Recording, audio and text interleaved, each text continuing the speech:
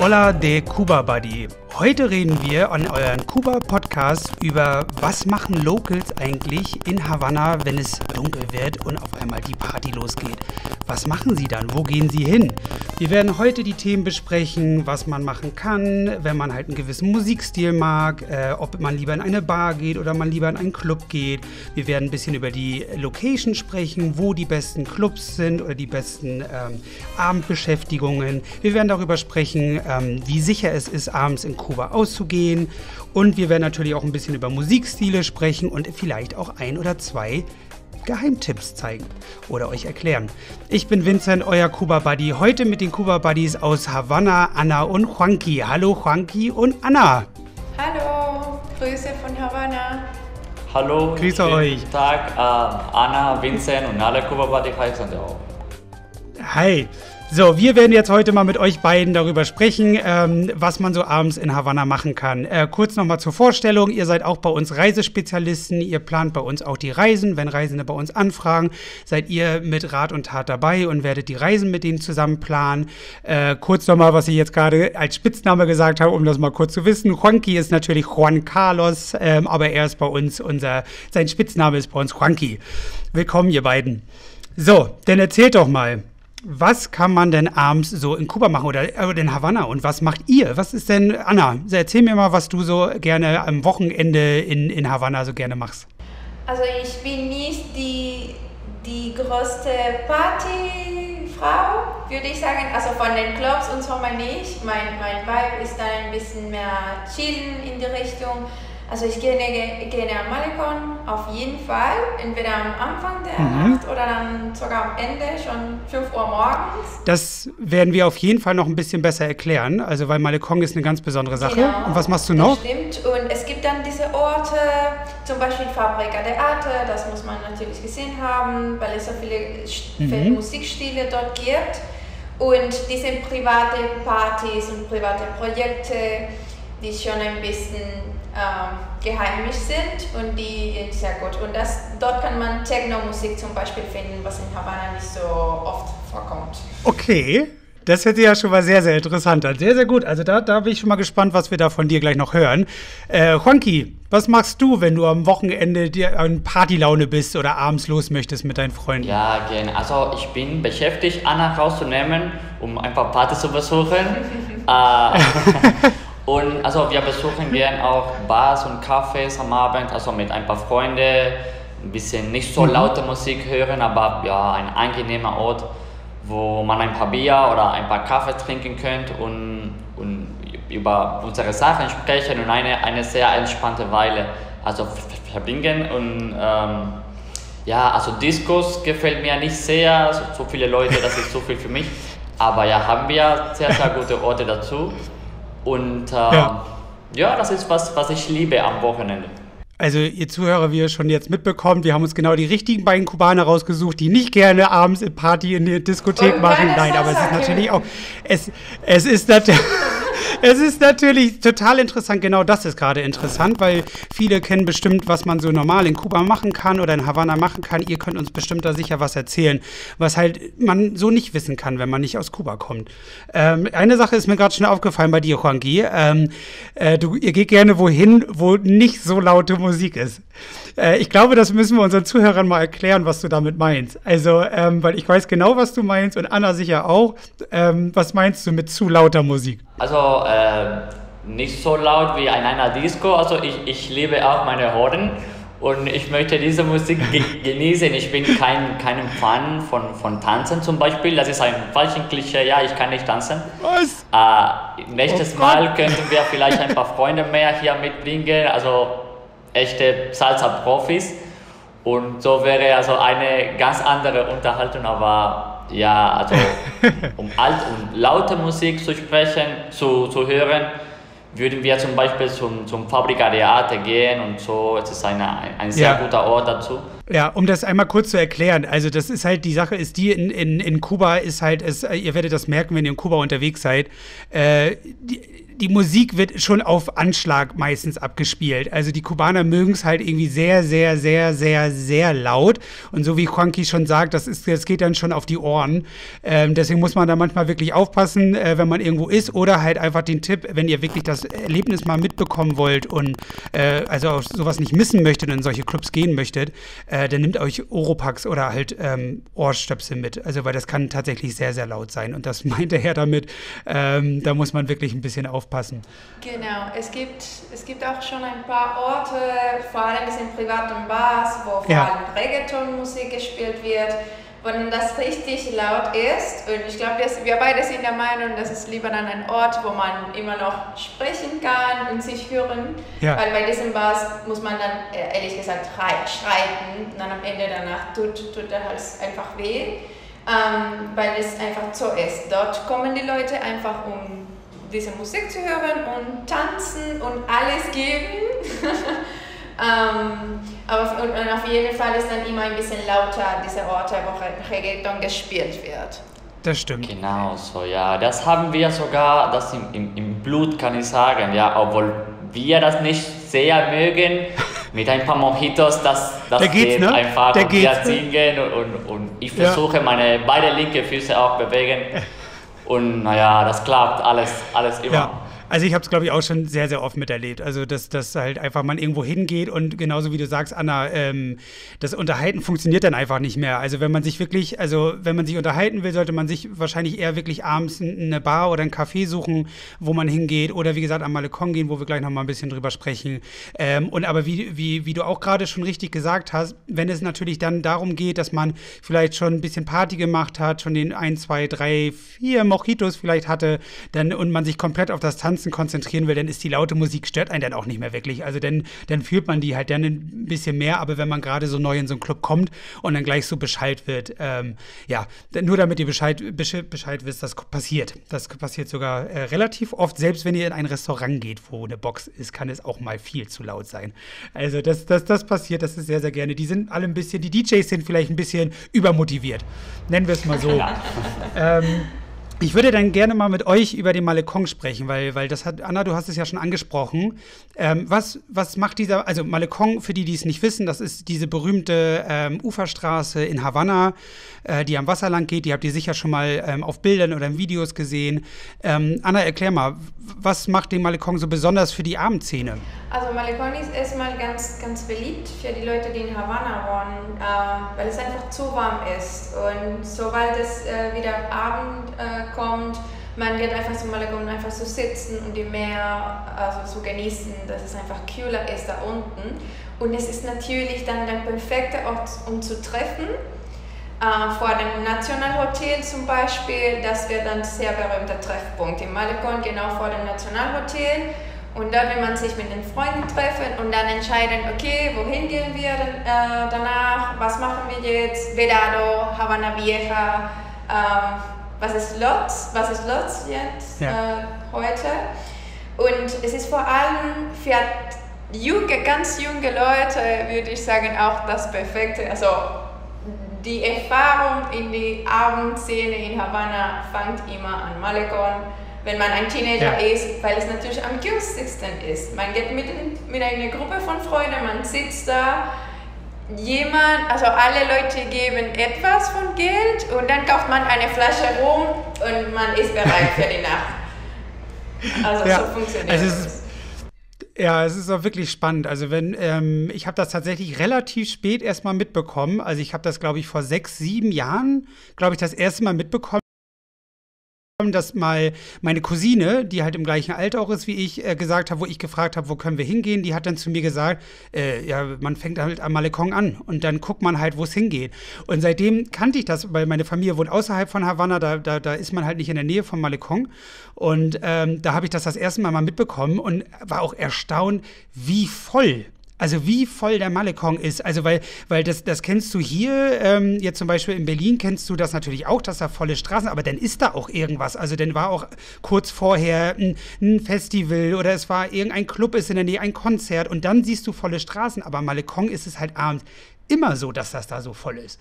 Und das ist halt wirklich was Besonderes. Also da kann man halt sehr, sehr schön hingehen. Und ähm, so kann man auf jeden Fall schön, wie du schon sagst, die Nacht starten und dann eventuell auch enden, wenn man da wieder zum Schluss landet. Das ist auf jeden Fall ein sehr, sehr guter Tipp. Ähm, wie sieht das denn aus? Äh, das habt ihr nämlich auch schon angesprochen mit der Fabrika der Arte. Ähm, was ist das? Ähm, ähm, was kann man da machen? Also Fabrika der Arte, das war eine alte Fabrik, eine Fahrräderfabrik, mhm. glaube ich. Und, und mhm. das wurde, also, ja, das funktioniert nicht, nicht mehr. Und X Alfonso, ein sehr bekannter also Künstler von, von uns, hat das wieder gemacht und wieder gebaut und hat heutzutage viele Zimmer innen und alle diese Zimmer sind zum, zum, zu äh, etwas bestimmt ähm, genutzt.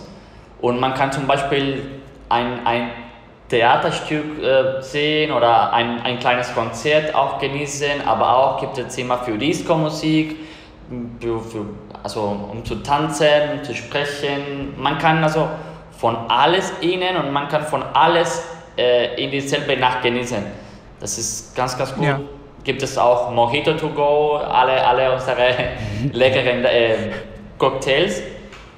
Und also ja, Land und Leute richtig kennenlernen, das mag ich das.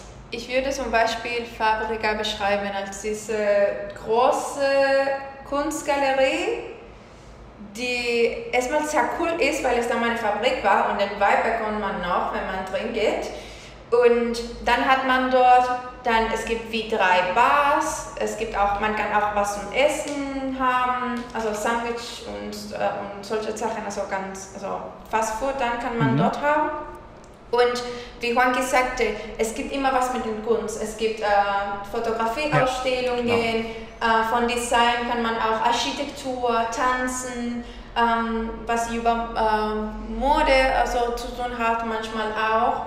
Und ja. was mir am meisten vom Fabrika gefällt, ist, dass in den verschiedenen Hallen, in den verschiedenen Räumen, bestimmte, also verschiedene Arten von Musik gespielt werden. Man kann mhm. dann ein Konzert äh, von einem Trovador äh, hören dort sein und dann in einer anderen Halle dann Techno vielleicht, dann Salsa in einer anderen. Also es gibt wirklich was für jeden Geschmack in Fabrika. Und es ist auch nicht so teuer. Also ist das perfekt. Und ähm, größten Vorteil, den ich bei Fabrika finde, ähm, man findet Leute für jeden, genau deswegen, weil es was für jeden Geschmack gibt, man findet alle von Leuten, alle Art von Leuten, die dort kommen, ähm, die vielleicht nicht unbedingt in einem selben Ort alle zusammen sich treffen würden. Und die sind alle bei Fabrika. Also jeder ist mal in Fabrika gegangen, deswegen dann ein Muss einfach in Havanna. Und liegt in der Nähe von dem Balkon, also wenn, wenn man noch mehr Lust hast, genau. kann man sich im Balkon so einfach. Genau. Ne? Man geht erstmal am Balkon, holt sich zusammen eine Rumflasche, dann hat, fängt man erstmal den Abend an und dann geht man zur Fabrika der Arte. Genau, also es ist ein super Plan. Ja, also ich fand ich fand's da auch und und man da, wir können gleich mal äh, äh, ich glaube das El Cocinero ist auch noch daneben, ne? Das stimmt. Da kann man dann auch noch hingehen. Genau. Also ähm, also um nur mal was, also ich war da auch schon mehrmals, ich war da glaube ich auch vor ja, äh, vor fünf Jahren oder so das erste Mal. Ich fand es auch Hammer. Also ich fand es einfach, ich hätte nicht gedacht, sowas da zu erwarten. Äh, so eine riesen Location, also diese alte Fabrik, die einfach ausgehöhlt worden ist und da diese Etagen eingebaut worden sind. Das, ähm, und wie ihr halt sagt, diese unterschiedliche Musik. Man geht durch eine Galerie, ist auf einmal beim Live-Rock-Konzert. Man geht durch die andere Galerie, ist auf einmal im Techno-DJ-Tanzen. Äh, Dann geht man wieder irgendwie durch eine Galerie und ist auf einmal ähm, in so einer riesen Bar oder Kino. Ähm, das ist halt wirklich der Hammer. Also ich muss sagen, ich habe, wo ich vor fünf Jahren da war, auch die, die, die Kunst, also die Kunst, die man da sehen kann, ist halt auch wirklich total toll. Ähm, ich habe seit den fünf Jahren mein Hintergrundbild auf meinem Handy ist ein Bild, was ich in der Fabrika der Arte gesehen habe. Und das werde ich auch nicht ändern. Ich habe mich so in dieses Bild verliebt und das ist halt, äh, das hat so einen Eindruck hinterlassen und trotzdem halt auch diese Außenlocation, dass man dann draußen da sitzen kann und einfach sich unterhalten kann. Das ist wirklich ein sehr, sehr toller Laden. Also muss man wirklich sagen, das ist auf jeden Fall kann man gar nicht mehr Geheimtipp nennen, weil es, glaube ich, schon in vielen Reiseführern steht. Aber das sollte man auf jeden Fall nicht missen. Und dann ist daneben, glaube ich, auch noch der El Cocinero, oder? Ja, das ist sehr gut. Einer der besten Palawares, die es in Havanna gibt. Ja, Genau, also einer der besten Läden, das ist halt, man kann man, bevor man dann am Abend zum Abschluss wieder am Malecon zurückgeht, nach dem Fabrika der Arte, kann man dann in El Cocinero nochmal schnell was essen und dann geht man wieder zurück. So, das wäre zum Beispiel ein, ein Abend, den man so ähm, in, in Havanna verbringen könnte. Ähm, ihr seid ja jetzt, wie ihr schon gesagt habt, jetzt nicht so, die jetzt für das Tanzbein schwingen äh, äh, so zu haben sind, aber so Casa de la Musica, das ist ja auf jeden Fall was, was man auch mal ansprechen sollte. Ähm, das ist auch in Vedado, ne? Also vielleicht erstmal grundsätzlich zu Vedado. Äh, Vedado ist ein Stadtviertel. Ähm, in Havanna ein sehr großes, äh, sehr zentral gelegen, äh, westlich von Havana Vieja. Ähm, erzählt mal was von Vedado. Also es ist einfach das Viertel, wo, wo wirklich, also erstmal liegt das ganz zentral, also es ist ganz einfach, nach Vedado zu kommen mhm. und zurückzufahren, schon um 3 Uhr morgens, dann ist es nicht so schwierig wie Miramar zum Beispiel und auch nicht so teuer. Ähm, und zweitens, man kann überall laufen in Vedado. Und weil es so viele Restaurants, so viele Bars und also Fabrika ist da, den schönsten Teil von Malecon ist auch in Venado. Ähm, genau, man kann alles, alles machen. Deswegen glaube ich, dass es so viel, weil es so viel Angebot gibt in Venado, das ist einfach dann am liebsten Viertel und am Abend rausgehen. Ja, das ja. ist. Also das auch mal so als Tipp. Das ist wie, wie, ja. wie ein Traum von, von aller Kubaner möchten in Vedado leben. Ja, ja, das ist ja immer so. Ne? Jede Stadt hat irgendwie so ein Viertel, wo gerne alle leben möchten. Ne? Und das sagen genau. sie dann so lange, bis sie da leben und merken, wie laut es ist. Und dann wollen sie wieder zurück. nee, aber ja, das stimmt. Also Vidado ist wirklich da, also man kann da nie was falsch machen.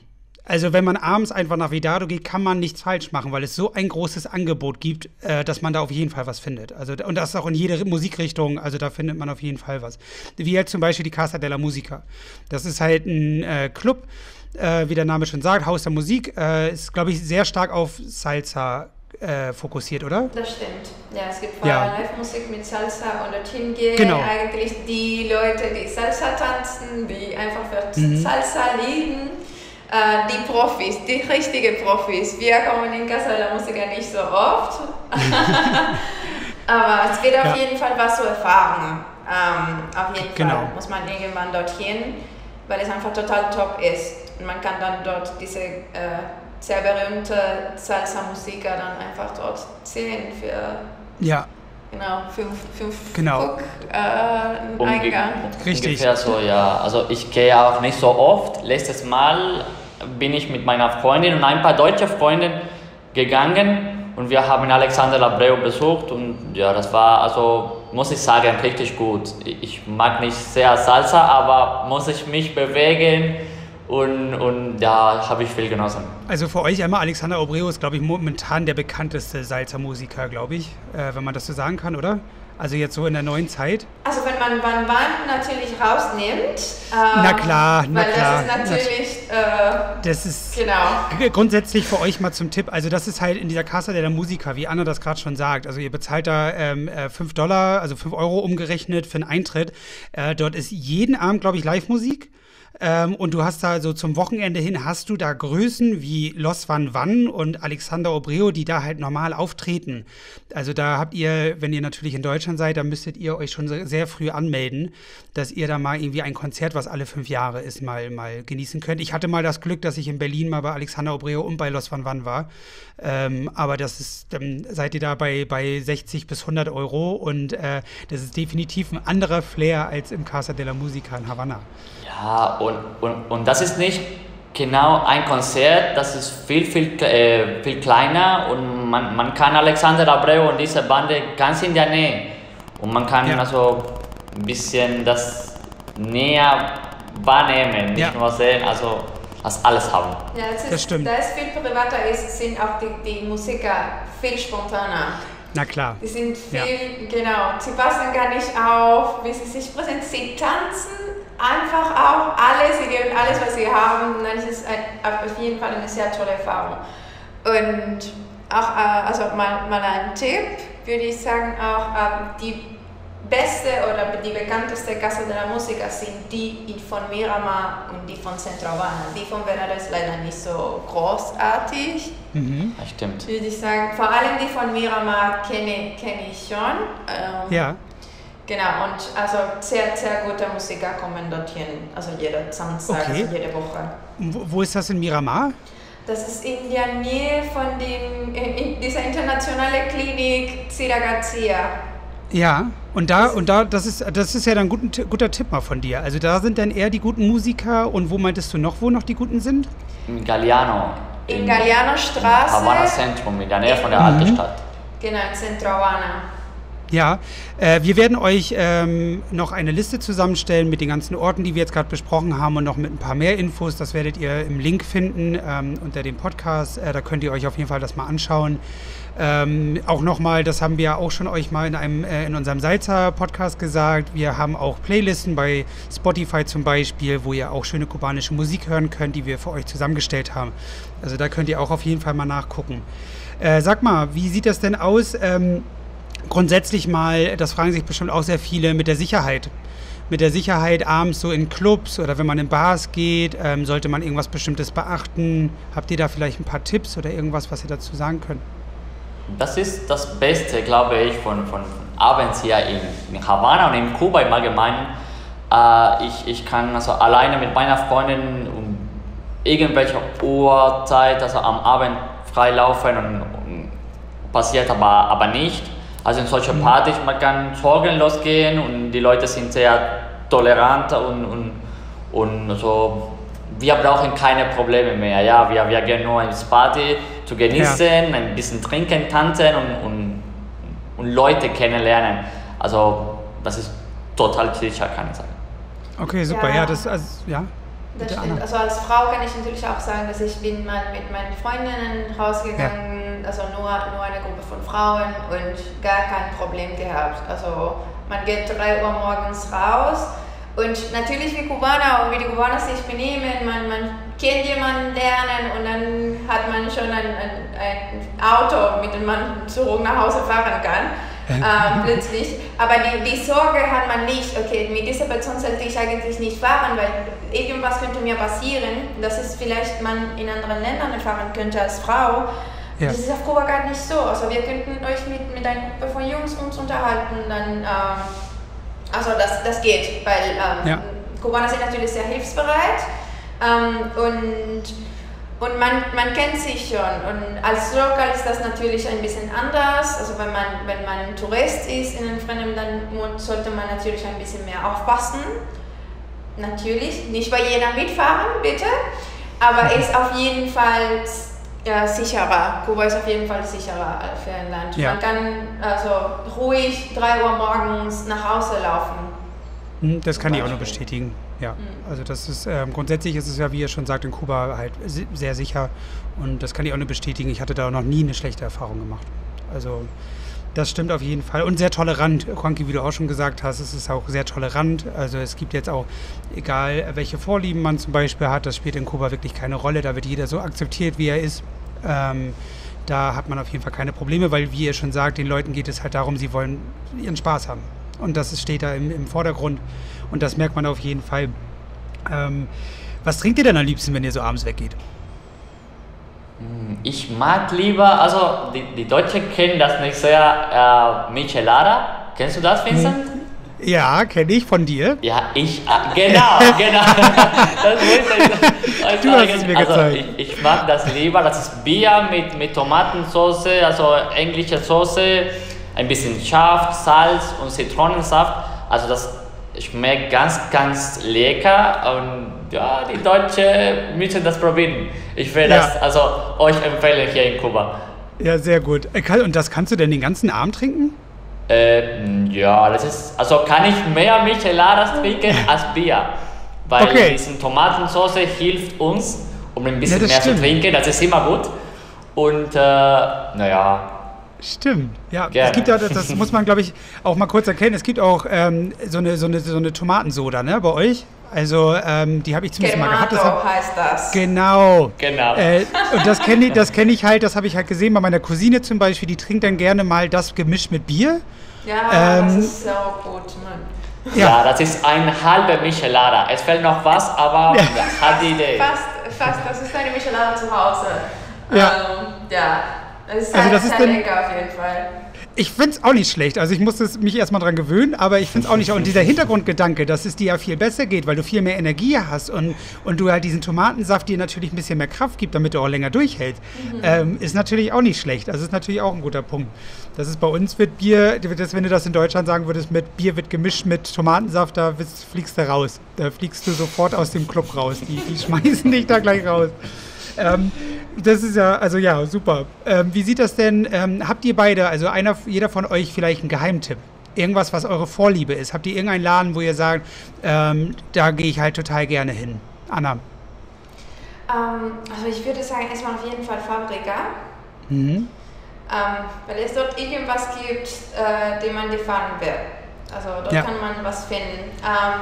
das Einzige mit Fabrika ist, dass sie nicht so spät also äh, sie, sie schließen eher ein bisschen früher, Stimmt, wenn man schon ja. die ganze Nacht Party machen möchte. Ähm, aber es gibt, wie gesagt, so viele Bars in Vedado. Mir gefällt mhm. zum Beispiel sehr Efe, die genau mhm. auf 23. Straße ist, ein bisschen schicker für ein Bar. Und ich mag gerne zum Beispiel Trova als Musikstil. Mhm.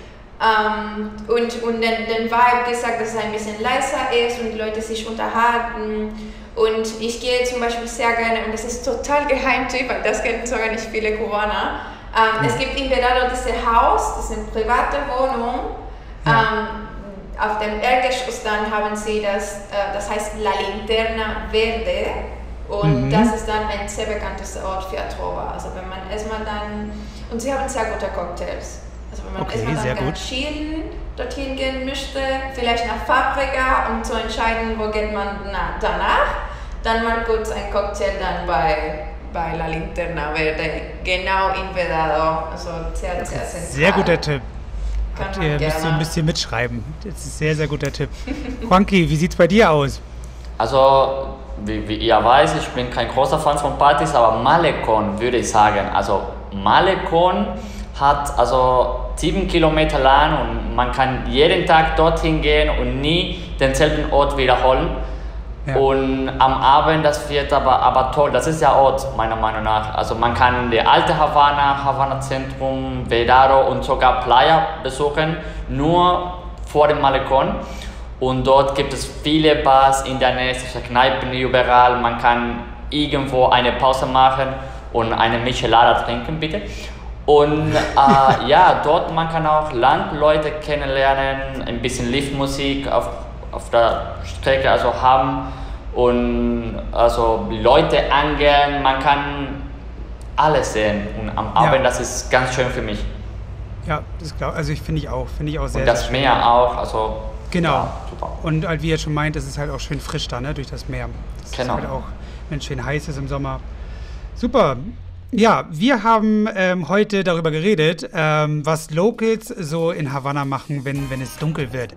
Und ähm, ich hoffe, ihr habt einen kleinen Eindruck davon bekommen, was man so in Havanna alles machen kann. Ähm, wir haben darüber gesprochen, äh, wo das beste Viertel ist, wo man weggehen kann und immer was finden kann. Wir haben über besondere Locations gesprochen, wie die Fabrika der Arte, welche Musikstile ihr auch da entdecken könnt. Wir haben ein bisschen was über Geheimtipps ausgeplaudert. Ähm, Anna, Juanqui, vielen, vielen Dank, dass ihr das äh, heute gemacht habt mit mir. Und ähm, ja, ähm, ihr werdet im, im, im, unten in den Kommentaren oder unten in der, in der Description findet ihr noch ein paar nützliche Links, wie schon besprochen. Ähm, das war es wieder von uns. Ähm, wir wünschen euch noch einen schönen Tag. Äh, ciao. Ciao. Ciao. Es war sehr schön, mit euch zu sprechen.